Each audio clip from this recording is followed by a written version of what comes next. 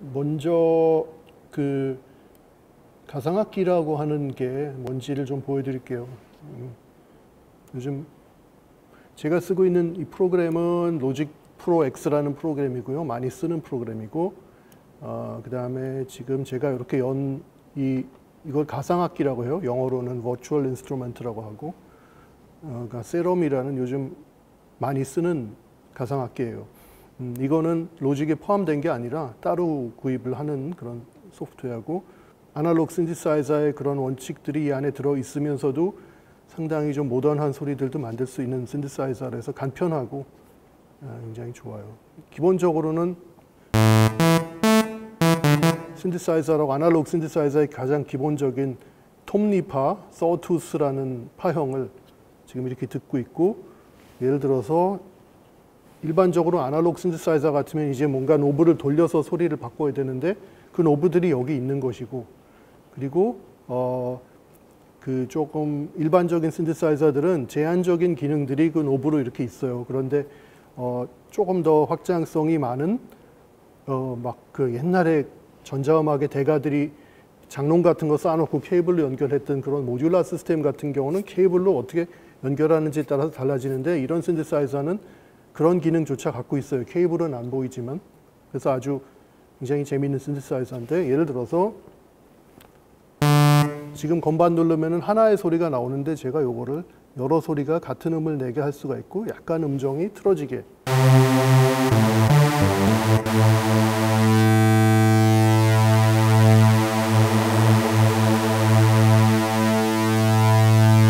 제가 방금 한게 여덟 개의 음을 같은 음을 내게 하는데 약간씩 음정을 틀어서 하는 거예요. 그래서 제가 이걸 가지고 시연할 때 하는 말이 약간 드론들이 이렇게 제자리에 있다 갑자기 이렇게 벌어지는 것 같은 소리 이런 그런 느낌이 좀 나는 것 같아요. 그래서, 같은 소리라도 이렇게 음정을 살짝 벌려서 하면 굉장히 소리가 넓어지거든요. 이런 걸 할 수 있고 그 다음에 예를 들어서 여기다가 옆에다가 또 같은 파형을 넣는데 여기다가 얘는 한 옥타브 위로 준다든가 그러면 이렇게 해서 옥타브를 플러스 원으로 해주면 이런 식으로 됐어요. 그리고 아날로그 신디사이저의 원리 같은 경우는 뭐가 있냐면은 먼저 이렇게 배음들을 많게 굉장히 고음들도 많고 중음도 많고 하잖아요. 그런 소리를 고음을 좀 깎아서 소리를 어, 변형을 하는 거예요. 그런 게 아날로그 신디사이저에서 많이 하는 건데 그러려면 여기 필터라는 섹션이 있는데 필터를 켜주고 켜주면 이렇게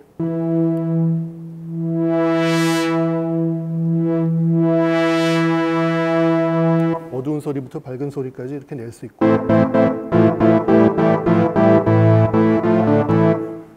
음 그리고 그 다음에 또 중요한 게 지금은 소리를 건반을 이렇게 누르면은 무조건 소리가 큰 소리가 쫙 나오는데 그 소리가 처음에는 이렇게 느리게 시작이 된다든가 그런 거 하려면 여기 엔벨로프라는 데 가서 이렇게 요즘은 이렇게 그림으로도 편집을 할 수 있어서.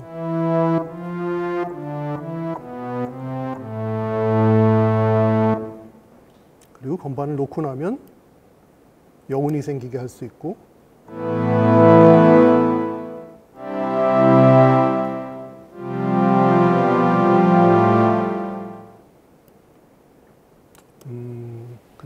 아까 제가 말씀드렸던 어떤 그 왜 케이블링으로 이렇게 여러 가지 기능을 하는 그런 거가 여기 이제 있는데 예를 들어서 제가 요, 이 필터 아 요거 어택은 좀 줄여놓고 요 필터 주파수를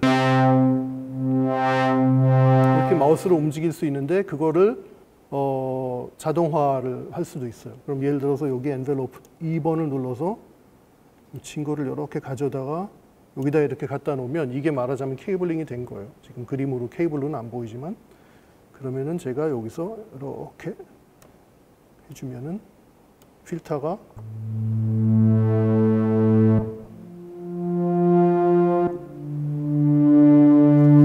제가 이렇게 그린 대로 필터의 주파수가 올라갔다 내려갔다 할 수 있는 거예요.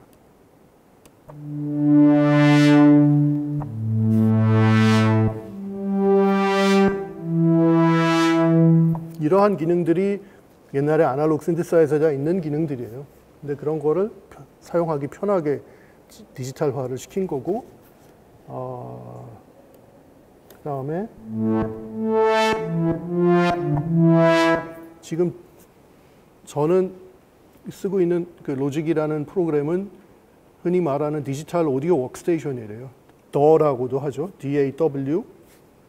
그래서 요즘에 DAW는 왜 DAW라고 하냐면은 제가 옛날에 80년대 독일에서 공부할 때는 sequencer라는 게 있었어요. sequencer는 미디로만 되는 그런 장비였어요. 그러니까 이렇게 외장 신디사이저가 있으면 컴퓨터가 미디 정보를 보내주면 걔가 음을 내는 뭐 그런 거였는데 어, 한 80년대 후반에 Pro Tool이라는 게 등장했는데 Pro Tool이라는 거는 오디오를 녹음하는 디지털 장비잖아요.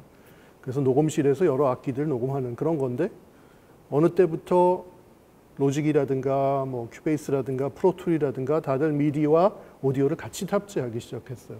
그래서 제가 지금 하고 있는 거는 미디를 활용한 거잖아요. 그러니까 제가 여기서 건반을 누른다라는 게 이 건반이 USB 케이블을 통해서 미디 정보를 보내는 거거든요. 그죠? 여기 화면에도 이렇게 보면은 제가 건반을 누르면 여기에 미디 정보가 뭐가 들어가는지가 보여요.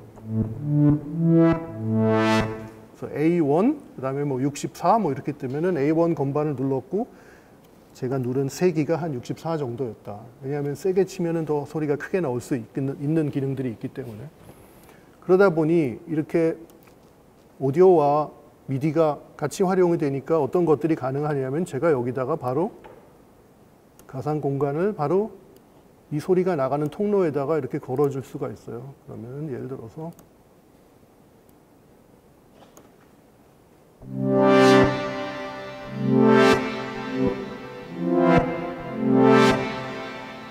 이렇게 굉장히 긴 어, 잔향이 이렇게 남게 할 수가 있어요.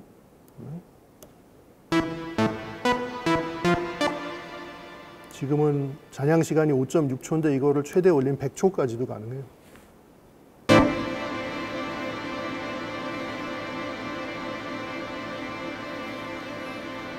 이게 끄지 않으면 이렇게 100초 동안 가는 거예요. 그래서 이런 것들이 가능해지니까 그냥 음악만이 아니라 sound design적인 측면에서도 굉장히 재미있는 것들이 가능해요. 그 다음에 어떤 interactive art라든가 sound art라든가 그런 데서 할 수 있는 것들이 굉장히 많아져요. 그래서 이런 게 그런 것이고 그 다음에 만약에 제가 여기다가 이걸 가지고 뭔가 연주를 한번 녹음을 한다고 하면 그러면 전자음악 그러면 사람들이 막연하게 생각하니까 제가 이거를 음색을 조금만 제가 원하는 대로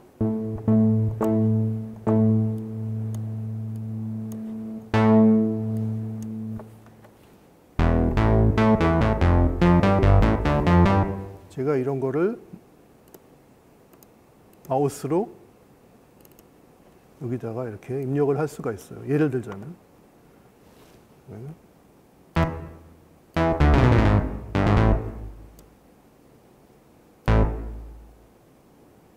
여기 지금 음표가 아 여기 4분 음표 아 16분 음표 맞네요.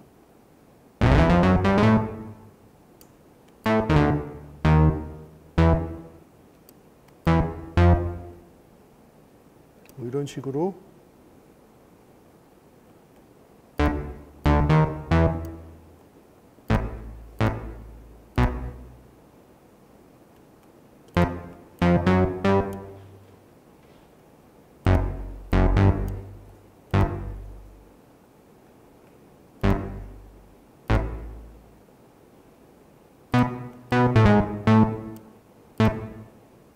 예를 들어서 이런 식으로 지금 이렇게 한 마디를 만들어 봤는데 그러면은 이렇게 반복 재생을 하면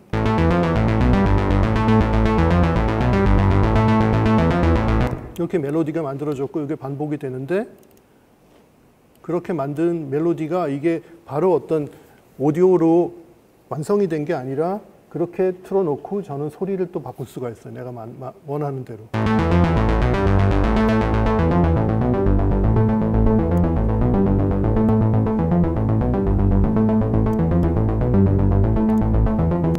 이렇게 하고 로직의 경우에는 L을 누르면 그냥 루프가 그냥 계속돼요. 그리고 템포도 바꿀 수 있어요. BPM을 114로.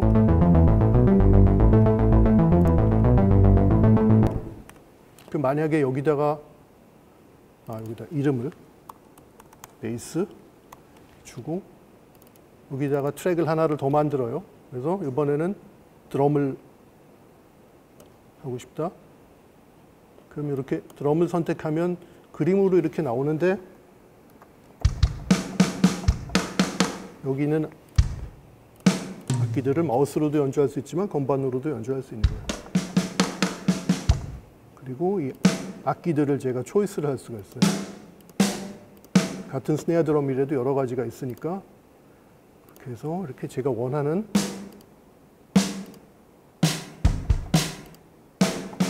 류의 드럼 소리를 지금 하이해트가 좀 작다 싶으면 하이해트 누르고 게인을 더 올려요. 그러면은 이거를 마찬가지로 아까처럼 마우스로 클릭을 해서 할 수도 있지만 이걸 연주를 할 수도 있어요. 그러면은 레코드 버튼 여기를 누르고 아니면 뭐 약자로 R을 눌러도 되고 한 마디 기다리고 뭐 메트로놈 듣고 기다리고 바로 연주하면 돼요.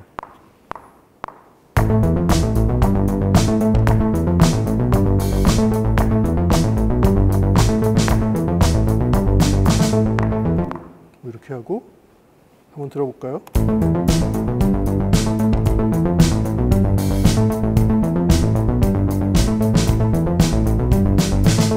근데 이게 이제 음악이 약간 전자음악 같은 건데 제가 어, 실시간으로 연주하다 보니까 완벽하게 정확하지가 않아요. 그럴 때 여기 퀀타이즈라고 하는데 가서 어, 16분 음표에 무조건 완벽하게 맞춰라라고 하면 이게 정확해져요. 역시 이 드럼도 제가 이 킷을 지금이라도 다른 소리로 바꾸면은 또 바뀌어요. 이 멜로디는 그대로 제가 한 연주는 그대로 가고 그죠? 이렇게 해서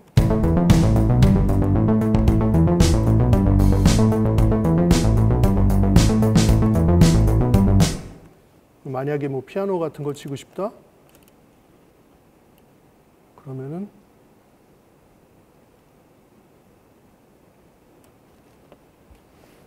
피아노 가상악기를 선택을 하는데 로직에 포함된 것도 있지만은 이렇게 또 따로 구매하는 것들이 음질이 더 좋으니까 방금 드럼도 그랬지만은 실제로 이 신디사이징으로 만들어진다기보다는 실제 피아노 소리를 수천 개의 소리를 녹음을 한 다음에 건반을 누르면 그 상황에 맞는 음원을 틀어주는 방식이에요. 샘플 방식이라고 샘플 플레이어라고 하는데 이렇게 치면 실제로 요 피아노를 쳤을 때 그 소리를 내는 거예요. 같은 건반이라도 작게 쳤을 때는 작게 친 음, 중간으로 칠 때 중간 세기로 친 음, 세게 쳤을 때는 세게 친 음, 이거를 다 따로따로 녹음을 해서 어, 수천 개 내지 수만 개의 샘플들, 음원 샘플들이 있는데 그게 이제 하드디스크에 있는 거예요. 그래서 제가 누르면 그 소리를 하드에서 바로 불러와서 연주를 해요. 요즘 그만큼 하드디스크가 빨라졌으니까 그런 게 되는 거예요. 이렇게 해서 피아노를 연주할 수 있는 거예요. 전혀 이런 음악이랑 어울리진 않지만은 그냥 아무거나 해보겠습니다.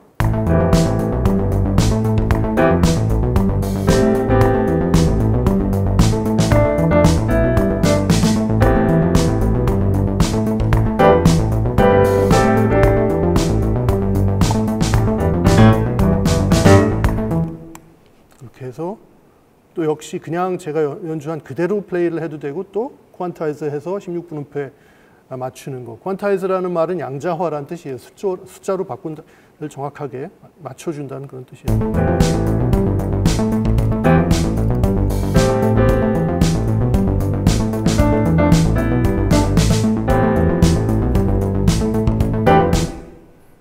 만약에 또 여기다가 제가 어, reverb 같은 거 공간감을 좀 주고 싶으면 여기다가 이번에는 공유하는 reverb를 하나를 이렇게 걸어요. 직접 트랙 밑에다 안 하고 이런 데다가 다른 데다 보내주면은 요 effect는 여러 개가 공유를 할 수 있게 돼요.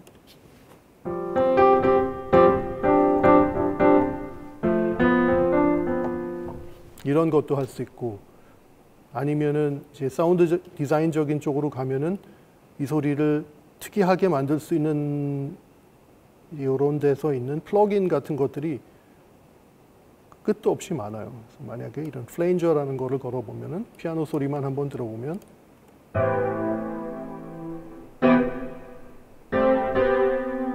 이렇게 바꿔볼 수도 있고 아니면은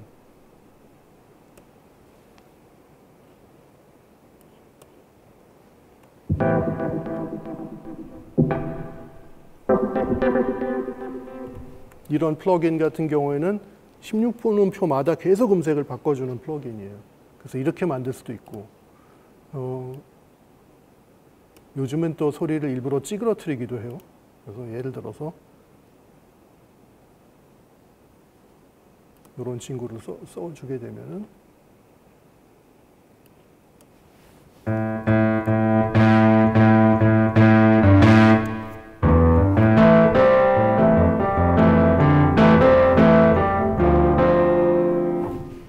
저가 제가 어릴 적에 레코딩을 공부할 때는 이런 거를 피하는 걸로 생각을 했지만은 지금은 오히려 그 내가 하는 음악이라든가 아니면 영화 음악이라든가 게임 음악 같은 거 할 때 요구되는 어떤 그 분위기라는 게 있잖아요.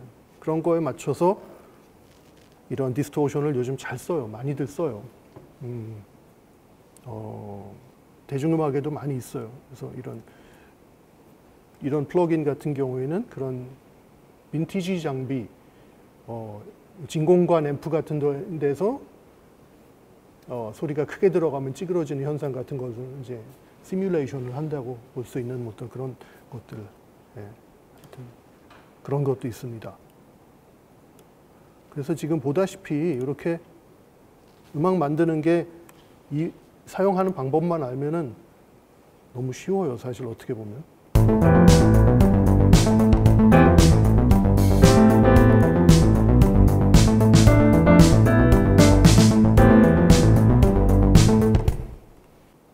장비 같은 경우에는 지금 사실 여러 개를 붙여놓은 겁니다. 이런 게 이제 이게 따로 떨어지기도 해요. 그래서 블루투스로도 작동이 되고 지금은 이제 유선으로 해놨지만 어, 이걸 가지고 드럼을 쳐도 되고 이걸 가지고 무슨 스위치 누르면은 어, 어떤 소리 그러니까 어떤 소리가 나올 수도 있지만은 요즘은 그 미디 정보를 이용을 해서 어, VJ들이 쓰는 소프트웨어를 또 제어를 할 수 있어요. 그래서 제가 어떤 여기서 어떤 색깔을 누르면은 어떤 그림이 화면에 뜬다든가 뭐 이런 것도 할 수 있고 어쿠스틱 악기를 컴퓨터로 시뮬레이션 할 때 많이 하는 게 주법들을 이렇게 버튼을 눌러서 바꾸는 걸 많이 해요. 예를 들어서 뭐 바이올린이 이렇게 그냥 레가토로 연주했다가 또 어떤 버튼을 딱 눌러주면 이렇게 스타카토로 연주하거나 또 어떤 버튼 누르면 뜯는 피치카토 주법을 한다든가 그런 거 스위칭하는 것 이런 걸로 해도 되고 그 다음에 지금 제가 화면에 띄운 어떤 이런 소프트웨어는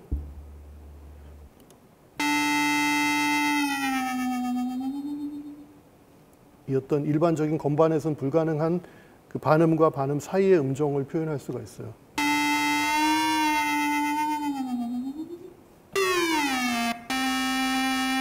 그래서 일반적으로 건반에서는 안 되는 약간 바이올린처럼 음을 소리를 내고 그 다음에 이렇게 손가락을 움직여서 비브라토를 예전에 건반에서는 신디사이저에서는 어떤 노브를 이렇게 올리면은 정해진 속도의 비브라토가 나왔었어요. 근데 이거 이런 거는 제가 원하는 속도의 비브라토를 할수 있죠.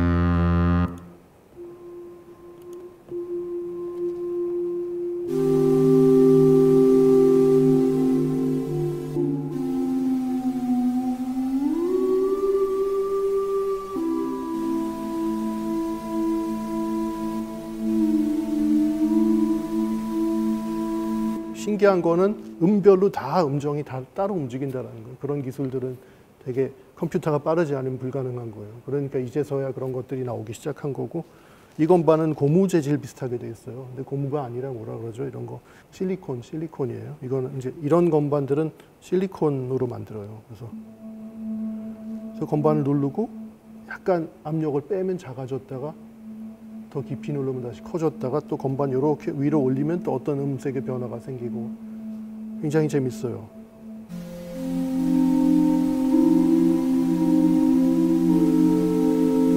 일반적으로 반음 사이의 음들을 하면 그거 듣기 싫어서 어떻게 하냐라고 할 수 있는데 저 제 생각에는 특히 영화 음악이나 사운드 디자인 쪽에서는 엄청난 도구가 될 수 있다고 생각하고 무엇보다도 저같이 다양한 악기를 연주하고 싶은데 건반밖에 못 치는 사람에게는 굉장한 도구예요. 이게 뭐 기타 같은 스타일이라든가 약간 현 같은 것도 표현할 수 있고 굉장히 재밌는 것 같아요. 그러다 보니 좀 이런 다양한 기술들이 있으니 컴퓨터 음악이 재밌는 게 뭐냐면은 이렇게 제가 되게 간편하게 음악을 만들 수도 있지만은 또 그거를 동시에 여기서 녹음실에서 하듯이 믹싱을 할 수가 있어요. 실제로 이 프로툴뿐만이 아니라 이 로직 같은 경우도 믹싱용으로 많이 쓰고 저는 요즘 이제 믹싱 엔지니어로 일을 하는데 로직으로 믹싱을 하거든요. 그래서 그냥 작업하는 방식 자체가 믹싱을 따로 보지 않고 작업할 때 이미 음악을 만들 때 편곡할 때 이미 믹싱을 생각을 하면서 믹싱 쓸 때 믹싱 할 때 쓸 그런 어떤 어, 이펙트 플러그인들을 미리미리 써서 만들기 때문에 어, 점점 더 앞으로의 어떤 음, 젊은 친구들이 음악을 하게 되면 저희 때보다 그게 훨씬 덜 분리가 될 거예요. 어떤 그러니까 믹싱과 편곡과 연주 그게 점점 분리가 덜 되고 어, 10대 초반부터 이런 거를 배우기 시작하는 친구들이 있거든요. 저희 제자 중에서도 있어요. 근데 그 친구들은 이미 20대 되면 이런 거는 너무 쉬운 거예요. 그러니까 이걸 왜 분리해야 되지? 그냥 내가 믹싱도 할 수 있고 이런 사람들도 나올 거예요. 분명히 나올 거고 물론 전문 엔지니어들이 더 잘하는 사람들이 있겠죠. 그렇지만은 사실 우리나라의 지금 현재 음반 시장이나 이런 게 개성 있는 음악가들에게 참 어려운 시장이거든요. 그러니까 mainstream으로 가면은 케이팝이라든가 좋은 발라드를 쓰면은 큰 돈을 벌 수 있지만 사실은 언더그라운드에 있는 많은 좀 개성 있는 음악 하는 사람들은 다음 음반을 낼 돈조차 없는 거잖아요. 그런 친구들에게는 굉장한 어떤 도구가 된다고 생각을 하고 계기가 될 수 있다고 생각을 해서 음, 저는 수업에서 이런 걸 많이 가르쳐 줘요. 그러니까 음악가들에게 음향도 가르쳐 주고 뭐 사운드 디자인도 가르쳐 주고 그다음에 어, 신디사이저로 소리를 바꾸는 것도 알려주고 음, 그런 것들이 모두 다 중요하다고 생각을 하고 어, 이제 시대가 어쿠스틱 음악을 하는 사람들도 전자음들을 많이 같이 쓰거든요. 라이브 무대에도 보면은 건반 주자들이 이렇게 막 특이한 소리를 내는 친구들도 있고 그 다음에 뭐 가수들이 어, 보컬 이펙터 같은 거 써서 뭐 선우정아 씨 같은 경우 그런 걸 유명하잖아요. 그러니까 그런 게 점점 많아지는데 그 뒤에는 결국은 음향에 대한 노하우가 되게 중요해요. 그래서 그런 걸 많이 하는 사람들은 어, 이런 프로그램을 활용을 해서 어떤 뭐 로보트 목소리로 노래할 수도 있고 무대에서 요즘 이런 맥북 같은 걸로 많이 그런 걸 하거든요.